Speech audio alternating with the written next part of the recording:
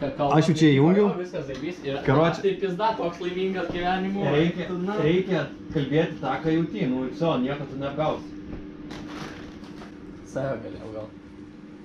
Lembo jo garsas įdomu veikia. Ta prasme.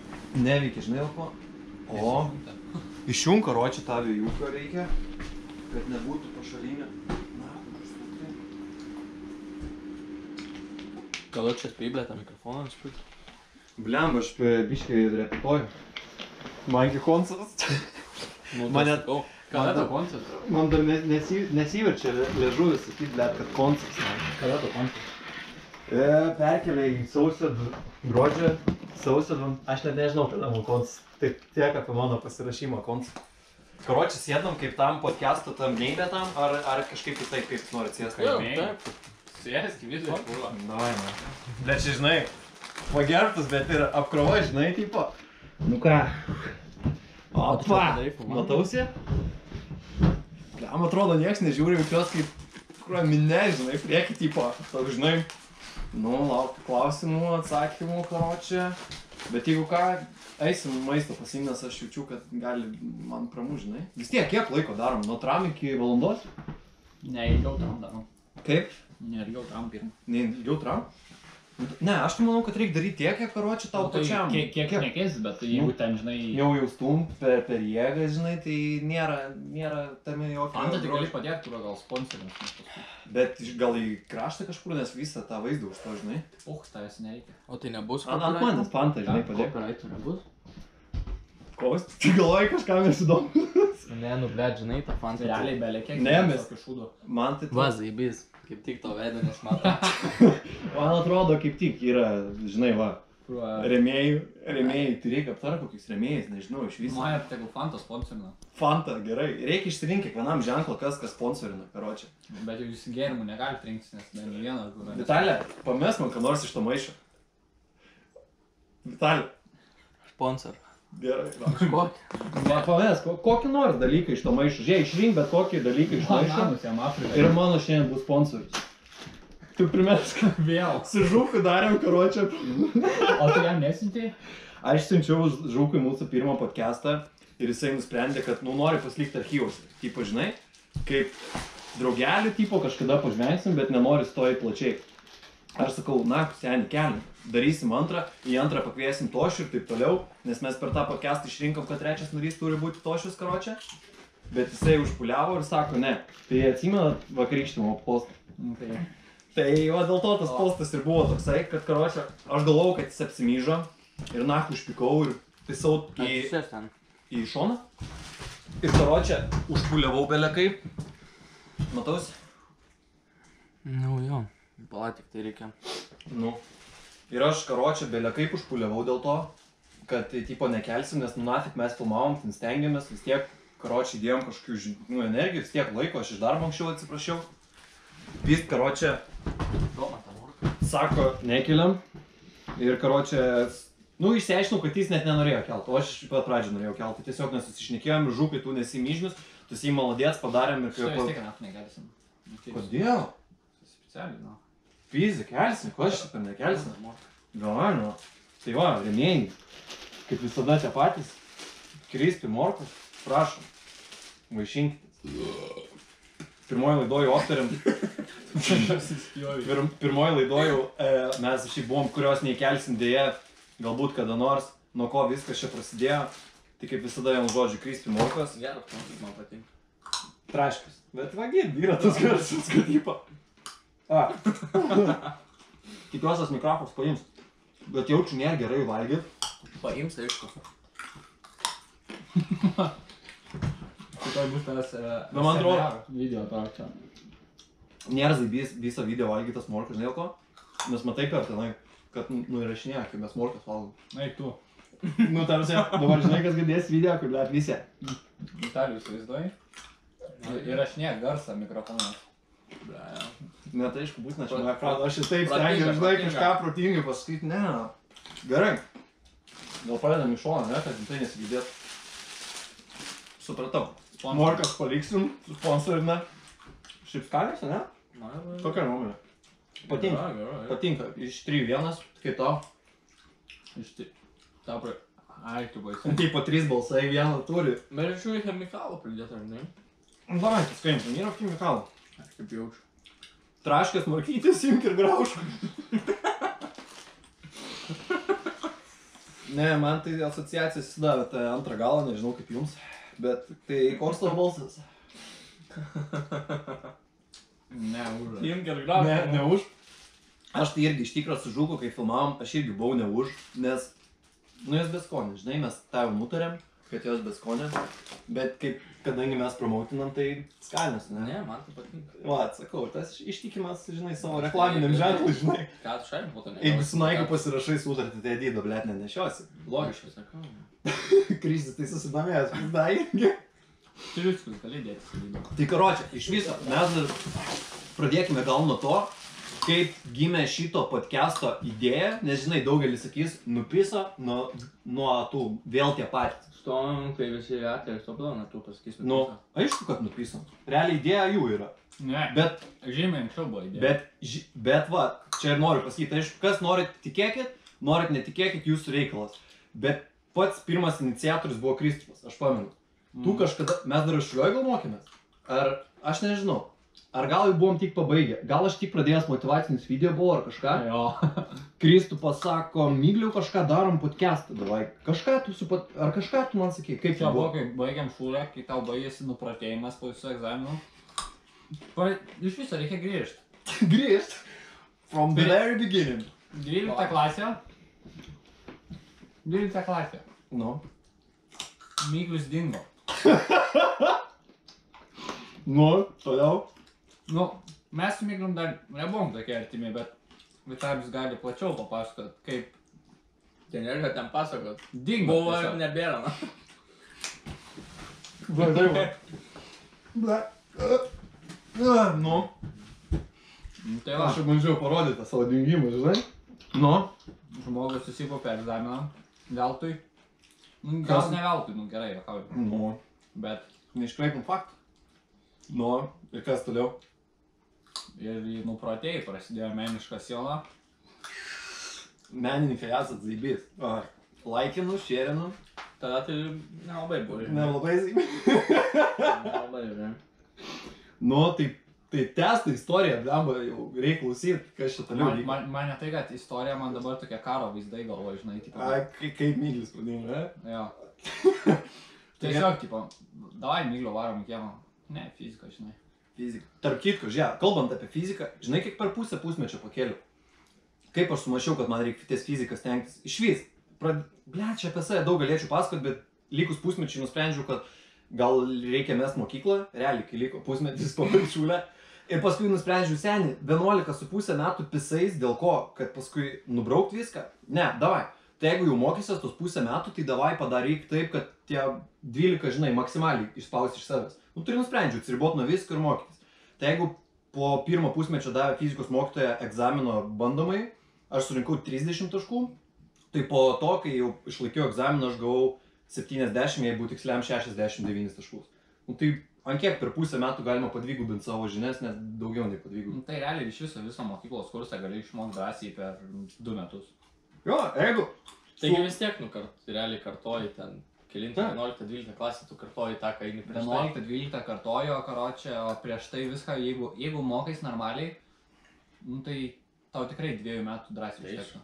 Man tai iš vis atrodo, kad tu mokais egzaminam 11 klasiai realiai. O tu 12 kartoji. klasiai, kaip tu ir sakai, 2 metai. O tu 12 klasiai, nu aišku, jeigu tu nebūsi pirmų 10 baigęs, tai tu 11 nesuprasi, Nu, tai blėt, su, kuo čia ką valgyti. Tai čia aišku. Nu, Jo, kas mokės 11, kas. Ne. Bliam, bet, bet, ten bet nežinai. 11 yra ta klasė, kur karočią žinai, kur... Pa, pa, Negali mokytis 11 klasės. Kur pakeli sparnus. Aš irgi jaučiu pirmą kartą pamoką, nenuėjau 11 klasį, žinai. Jos. Ne, nu, tai... nu, A klasė, žinai, ten kitokie prioritetai, bliam. Žinai, kai tipo vidurkis 8. Paliekam? Sveiki, su- Pa- ke, pristatome ketvirtąjį Ne, savo pa- asmenį. Paliekam, Ir- paliekam. ir- ir- Ar pakelsi? Ketvirtas mūsų Uždengia? asmo bus.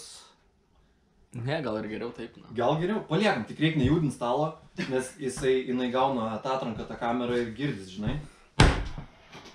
Ne, Aš nu, jaučiu, kad naujas sponsorių reikia mums. ne, gerai. Nu čia... Nu, Tai ketvirtas asmo prisijungė, čia dvasios. Tai va, Šventoji dvasia šiandien irgi su mumis į mūsų... blem, jaučiu, žinok, rimtai girdėsis, nuo reikia pas, nu, tu stalo neliesdavai. Arba reikia kelt mikrofoną. Atsiprašom už prastą garso E, kokybę. pirmas video. Pirmas video, antram bus geriau. Tai davai, tęsim toliau, kas karočią... Ties ko mes čia dabar baigiam? Apie 12-11 klasę, kad 11 klasė visi iškelia sparnus realiai. Nu čia, tipo pabandai nenueit, o kas bus? Nenueini tą vieną pamoką ir žinai, ką supranti, Nieko nebūtų. kad nieko nebus. Ir ką daro žmogus, kai jis nusižengia ir jam nieko nebūna? Nieko. Kartoja. tą patį daro, žinai, Jo, jo. ir vėl neša tavo raštą iš to darbo į namus, žinai. Bet aš vis laik vaikščiodavau pamokas, nežinau, aš šiaip patikdavo pamokose. Jo, same. ble, pasakė niekas, žinai. Man vis laik A, patikdavo. Dėkojam a, Istorijos mokytojai. ir istorijos mokytojai, Kristinai, linkėjimai. Nereik pagirti, jeigu mokytis žiūrėti šitą podcastą. Tai Nu, ne, tai tai aš tai tai- tam ir Ai, bet čia nuoširdžiai gyrė. Taip, taip. Bet šiaip jo, aš, aš irgi Geriausia mokytoja buvo. Jūsų Kristina iš vis faina mokytis daina, šypsus tokia, ką žinau, nu rimtai, tokia jaunatviška. Ne? Aš tai sakau, man vis laik Nu. geriausia pamoka būdavo.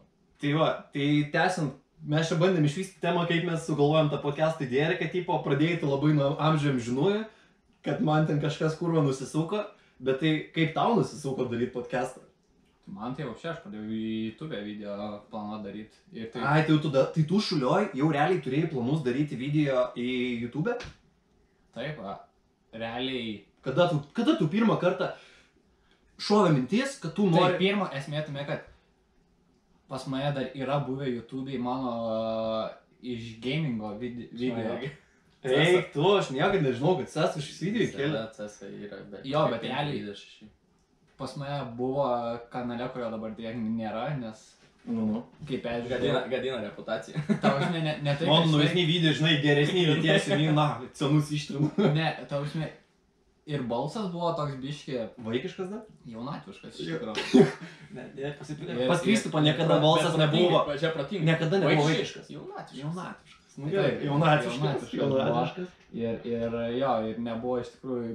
Žinai, kaip pirmą kartą įkeli, Nu. pačiam tipo pažiūri jos zaibys ir karočią aš po porą savaičių tas video antrą kartą žiūrėjau ir nugrinai buvo taip.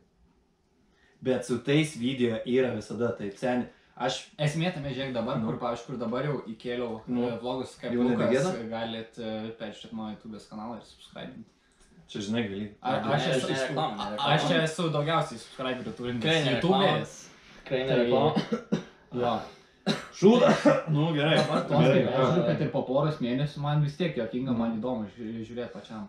Čia realiai tik dėl to, kad pačiam įdomu, o podcastai tai nežinau, man visą laiką taip traukia realiai. Mhm. Realiai pas mus net ne podcastas, o mukbangas, kas yra, kai šneki ir valgai. Bet jis yra daugiausiai apsiskaitęs apie šitos dalykus žmogus, žinai. Aš tai tas, kur nu. dažniausiai nežinau, kaip daryti, nelabai gilinos, tai yra emocija, tu žinai, emocinis, davai, darom. Ir tipo, ne, nieko nemoku, nieko nežinau, apsitrauksiu, neapsitrauksiu, gausiu porą kulkų, bet karočiui darysiu, o tu tipo protingiau, žinai. Nu, tai čia Apsiskaitai. tas pats, žinai, nu, realiai ne- tai, kad su patirtim, bet kai iš karto apgalvoju viską, nes aš realiai ir šiaip daug video esu žiūrėjęs, kaip, žinai, kaip ruošiasi visiems Mhm. video, labai įdomu kartais būna pažiūrėti, pavyzdžiui, kai, nu, kad ir pačių vlogų, Mhm. kai būna, karočią, e, nu, jeigu visi geresni vlogeriai, karočią, jau turi tiesiog savo tuos žmonės su kamerom, kurie vaikšto ir filmuoja viską. Ir tie, Taip, pavyzdžiui, k- kameramen, jie, karočią, tiesiog e, savo būna įkelia video, kaip viskas užkulisiuose, žinai, vy- vyksta. Ai, tipo, tie, tie, kurie filmuoja vlogerius, patys vlogina, kaip jie vlogina. Jo, Wow. nu tai va. Čia, blem, Nu, čia tai žinai, kai rusiška ta matrioška, didelį ištraukti, ten visi vlogina. Jau, jo, va, tai esmė, kad... O mama vlogina, kaip jis, žinai, vlogina, Jo, kad mama vlogina, kaip jis namo negrįžta. Atsiprašau, mama. Nu, tai va. Nu, ir, ir gaunasi taip, kad pamatai, kiek pasirašymą, nu tas pats, kas, kas ir šiandien. va. Nu. Turėjom kada pradėti šeštą. Pradėjom tiek pagal laikrodį 8, bet realiai 7. Vis tiek pradedi realiai valandą kokią vėliau. Nu. O Nu, mes tai- čia paprastas pirmas video, kur... Nu, bet, tai- bet, vis bet rimtai atrodo, kas čia? Pastatysim stalą, pastatysi trys kėdės, kamerą, ir varai. Ne, jis- ne. ap, apfilmuotume, kaip čia viskas dabar atrodo, tai atrodo gražiai, lygiai taip kaip ir video, ne? Tai taip, aišku. Taip. Be abejo, mūsų užkulisiai tai... užkulisiai. Dar trys kameristai stovi, tai... O jūs nemum išvis- ko pergyventi. O jūs dabar iš vis jaučiat spaudimą prieš tą kamerą ar nejaučiat, žinai? Aš tai ne. Matai, gyvenu. Ta, tai, ma aš tai, blediškai jaučiu. Aš Aš kažkaip... sako biški, karočią. Prieš tai atsėdo. Tu žinai, Jaučiuosi kaip žmonių. mes Mes įkelsim tą video. Kai kelsim, bet tai nežinau.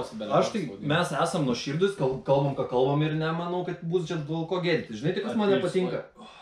Kad nėra kur rankų pasidėti. Kristus, jeigu pasidėjęs, aš neturiu kur pasidėti. Čia dėl šito reiks Tai kažką tu pasakyti. pasidėk mūsų, čia žinai, main, čia mūsų lyderis. čia. Myglius. Ne, aš esu, aš nesu lyderis, aš esu emocinis į... Emo, emocinės pagalbos gyvūnas, karočią. Kur aš toks emocinis. Davai, hebra, darom, darom, darom. Kristus tas, kur, pana, darom protingai, žinai. Ir Vitalė. O O aš vėluoju, aš vėluoju. Aš tiesiog pasirodo, kai jau reikia, Jau reikia, aš tai atsisėdu ir iškart žinai. Žinai, tas, kur kažkaip, žinai, toks, pohui, gerai padarysiu vis tiek, žinai, daug neapskraudamas. Tai gerai, grįžtam prie, kur mes ten baigiam, aš jau vis- užmirštu, kur mes ten Baigiam. baigiam. Nebegrįžtame, nes aš nebežinau. Tai jau nebeverta grįžti, nu, tai maždaug Nu, visi ai, nu, tai kodėl tu kaip- čia dingai iš vis ir kaip tu atsirado čia mintys to podcast'o. Tai va, tai ne, tai pirma mintis buvo Kristų po podcast'o. Ir tada mes taip ir, aš buvau tada nepasiruošęs, aš nežinau. Nu tai ir šiaip, nu tas pats, kas su mano video, aš jau tos, pavyzdžiui, vlogus galvau daryti. Tai mano pirmas vlogas nuo tada, kai pradėjau galvoti, tai kiek čia, metai su pusė, du metai praėjo. Aha. Nu tai tas pats su podcastais, jau kai jau tipo sugalvojom, ką daryti, nu tai kiek laiko praėjo, kol, kol rimtai, žinai, nepradėjau. Nu tai kai tas pats, Bet kas tipo, visada su viskuo. nu tai tas pats eiti į salę, kol tu karočią e, nenueisi į salę, nu tai nenueisi, karočią nesportuosi. Taip, taip, taip, taip. Tai man lygiai tas pats su motivaciniais. Iš vis dėl ko ta motivacija prasidėjo, kai tipo man 11 klasė pritruko, karočią kažkaip, tipo, dėl ko aš čia mokaus. Pažiūriu kitus žmonės, kurie be mokslų ten kažką geriau padaro gyvenime ir man tai pradėjo trūkti motivacijos mokytis, kad aš supratau, kad aš pabaigęs mokslus tiesiog įsidarbinsiu ir dirbsiu kažkam, žinai. Nu. Atrodo, o kaip dirbti savo? Pradėjai ieškoti atsakymų ir supratai, kad tie mokslai, akademinės žinios jos yra puiku, bet jos nebūtinai užtikrina tau gražią, žinai, ateitį ir pradedi ieškoti atsakymų. Tai aš irgi apie motivaciją pradėjau domėtis 11 klasiai, o kad pats kažką kitiem norėjau pasakyti, tai čia atsirado tik baigus, žinai, 12. Tai irgi praeina realiai metai Jo. laiko nuo to, ko tu, žinai, kol gimsta minties ir tu kažką gali išstumti jau tikrai ir nori pasidalinti su publika ir galbūt kažkam ta informacija pasirodys naudinga. Nu, šiaip ten net pirmas žingsnis tas yra, žinai, tas pasirašymas, tai pasirašymu, bet Jo. Ta prasme, tau tą patį, va, kaip Kristus pasakė, tipo, kad į salę nenuėjęs, nebevai, nu, nevaikščiasi, tipo. Mhm. Nu, tai lygiai tas pats, nu, kol tu pirmo žingsnio nepadarysi, tai nieko ir nebus, žinai. Tai tu atrodo, mintis tai yra, atrodo ir laiko yra, žinai, ir tu atrodo jau viskas aš darysiu, bet tipo, ir stabdo, žinai, ir tą žingsnį negali padėti, bet jau Jo, kai jo. padedi tada lengviau. Manau, čia daug, daugeliu jaunų žmonių, žinai, problema, kad mes bijom dėti pirmą žingsnį, Žinai, bijom, ką pasakys kiti ir tu tiesiog užsidarai savyje ir nepadarai gyvenime tą, ką tu norėtum. Čia tas pats vakas, tipo, mm, daug labai jaunų žmo- žmonių, tipo, nuo 20 iki 30, kur, čia, kur mokosi, kur nežino Nu. dar ką daryti, karočią, ten bijo, ten ką tėvai pasakys, taip toliau ir panašiai. Ir šiaip nesupranta to dalyko, kad, nu, realiai niekam neįdomu, ką tu darai. Jo, Tai, tipo, jo. ma, man grinai, aš matau gatvėje, kad žmogus ten kažką apsirengęs, tipo, o, pažiūrėjau, įdomiai apsirengęs ten kažką, arba, tipo, ar nepa, nepatinka, aš karočią po 10 minučių aš nei jo neprisimenu, nes man neįdomu. realiai. Tai va, čia, jūs gal žinot, Facebook'e ten dabar yra labai populiarus ir man irgi užkabino. Kaip tu ten, tu, tu dirbi tau nepatinkantį darbą, kad uždirbtum pinigus ir nusipirktum savo nepatinkančių dalykų, kad padarytum įspūdį savo nepatinkančiam žmonėm. Kažką tokio. Nu tai va grinai tas pats, kad užsisuki tokiam zajobnam rate ir, ir, ir sunku jį palikti ir sunku atrasti savo kelią. Ir dar ypač, kai esi jaunas ir tu nelabai žinai, ko nori. Tai vienintelis, manau, kelias yra tikrinti, paeiti kairę, ne, kairė man nepatinka, dešinę ir, ir ieškoti tam miške, žinai, susirasti. Nes grinai niekas nenušaus, niekas netrenks per Jo, galvą. jo. Ir viskas, reikia tiesiog varyti ir viso. Ir, ne, Ir kad ir kažkas paheitins ar kažką, manau, grūdina tavo asmenybę realiai. Tai kad tu paskui tau tą kritiką, aš seniau iš vis taip bijau tos kritikos, dabar sukritikuoja.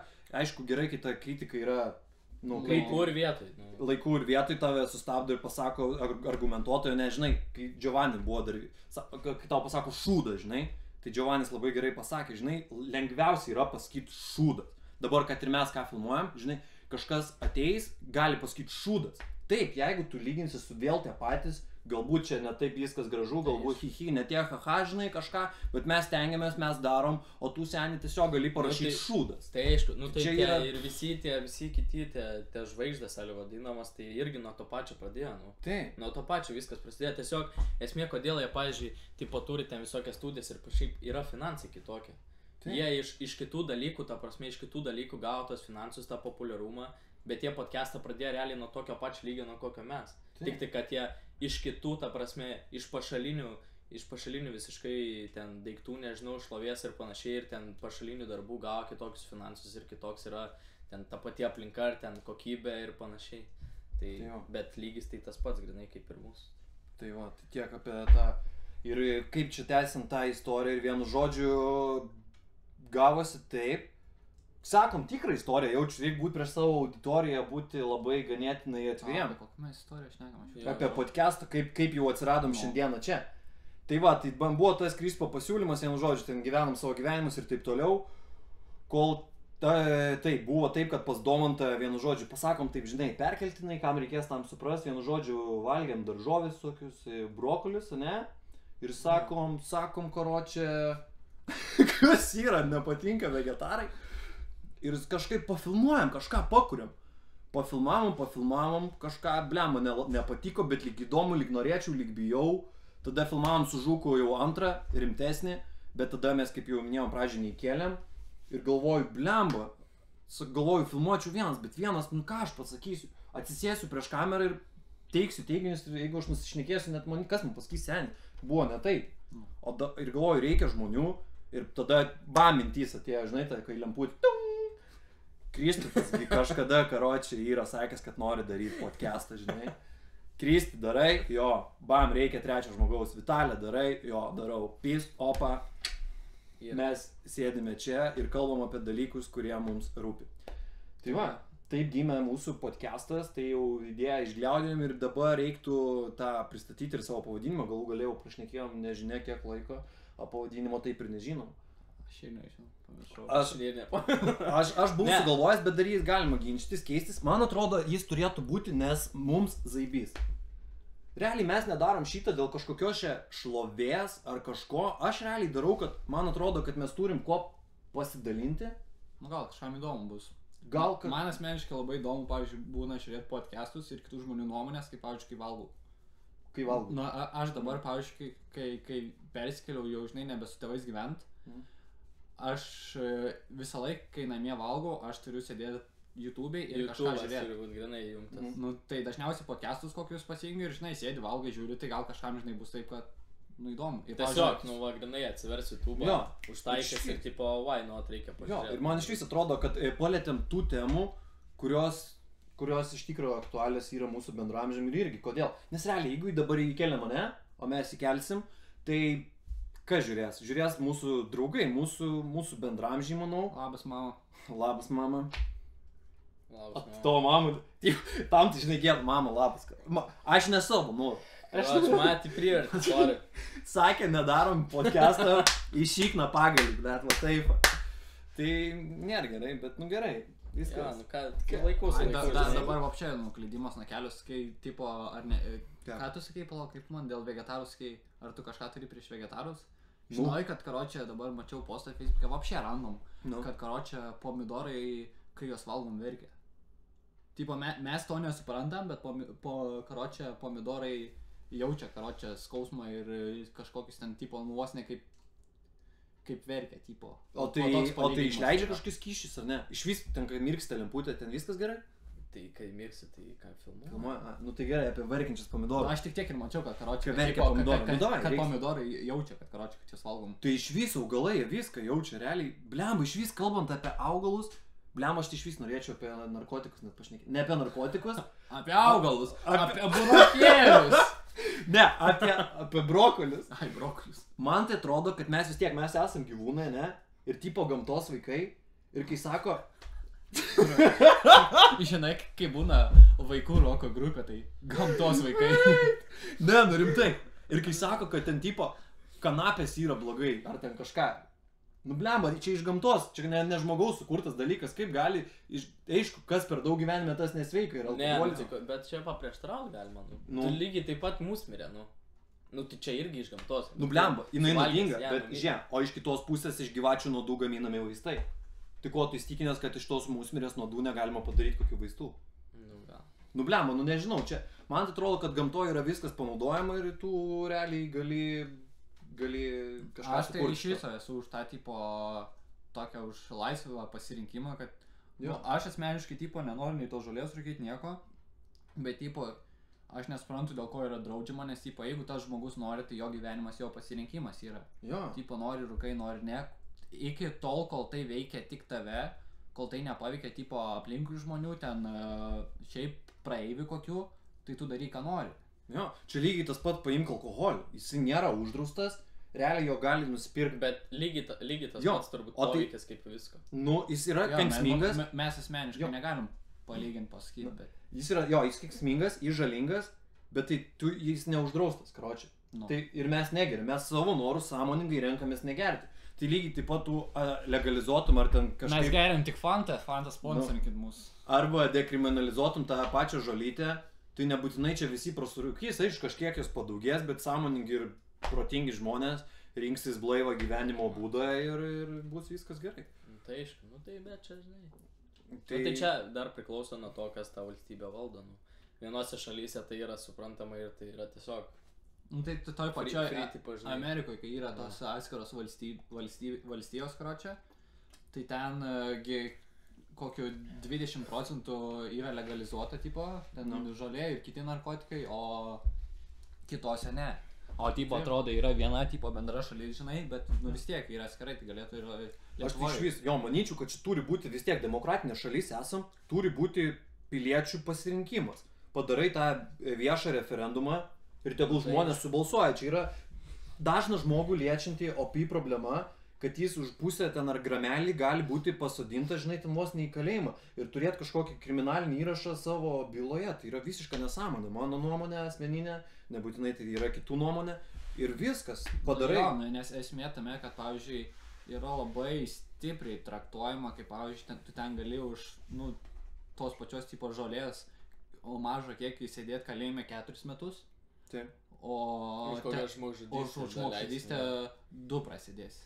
Jo. Nu, tai čia yra labai jau Tai- tokie du tai čia- skirtingi dalykai. Jo, jo, jo. Ką, ką tu, tipo, ką tu save paveiki, tu čia su savim daryk, ką nori, tipo. Nu, tai čia, bet čia lygiai tas pats, kaip palyginti, kai pa- padarė su ta e, kariuomenė. Norėjau skaityti armiją, čia man būtų per nagus davę visi, ką žiūrėt. Nu, Man nėra skirtumas. Ne, bet tipo, žiūrėk, ne, aš noriu kokį palyginimą duoti, kad tipo į kariuomenę nuo 18 metų tu gali žūti už savo valstybę, tu žinai viską, gali Jo. ten 18 karočią gali ten daryti vaikus, šeimas, ką nori, žinai, o žinai, valko nusipirksi nuo 20.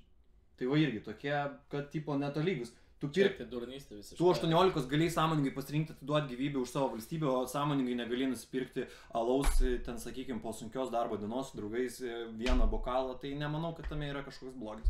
Nu, Nu, bet čia tai jau- tas pats, čia- ir čia šiaip labai žmonės griežtai viską žiūri, tas pats, kai, kai energetinį padarė nuo 18. Nu, aišku, čia taip yra labiau suprantama, nes, Nu, jo. nes veikia organizmą. Taip. Bet e, ta prasme, kai padarė, nu čia istorija, nežinau, ar mama, mama, mama žino, bet mama gal tu jau praskipinai. Buvo 18 ir, ne, nebuvo 18. Ir pa, alkoholis dar buvo nuo 18. Mhm. O ir energetinį padarė nuo 18. Vakarą prieš e, važiuojant pas draugą, kadangi atrodžiau ganėtinai senas, kaip ir dabar atrodau, man iš tikrųjų tik 20, uh, nusipirkau degtinės butelį. Nu. Kitą rytą... Kiek tu buvo 18 ir pirkai dėkinės būti? man buvo 17, 17. 17 kažkiek ten. Jo.